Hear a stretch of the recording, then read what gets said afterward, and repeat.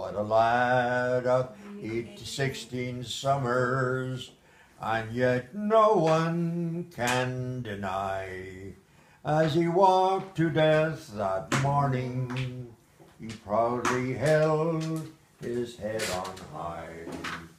Another martyr for old Ireland, another murder for the crown.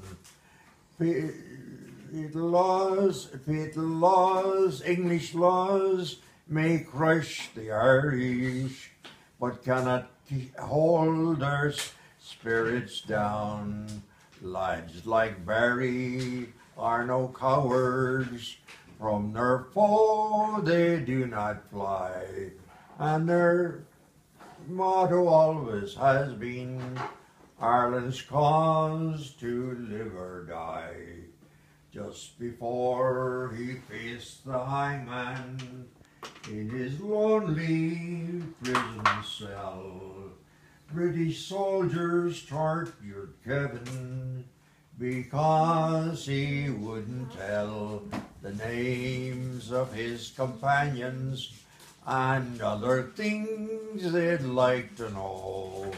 Turn informer and we'll free you.